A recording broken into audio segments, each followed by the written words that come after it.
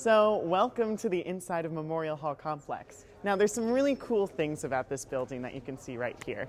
First thing you notice is all of that stained glass.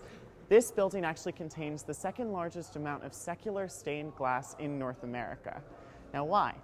This place was actually founded in 1870 as a war memorial, commemorating the lives lost of Harvard undergraduates who fought for the Union during the Civil War. Now, this building is filled with history. But it's also filled with a lot of cool other things.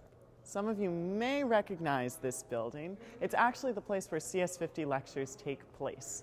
So this is actually just outside of Sanders Theater where David Malan actually gives his lectures.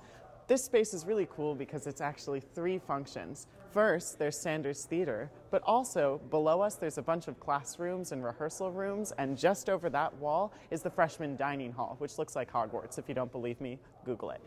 But in any case, back to Sanders. So by day, we all know it as where CS50 takes place.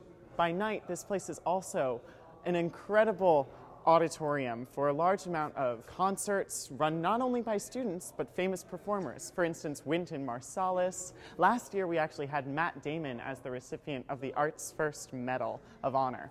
And then this year we actually have Margaret Atwood. So there's a lot of awesome things about having a space that's not only driven for academics, but also for your extracurricular activities.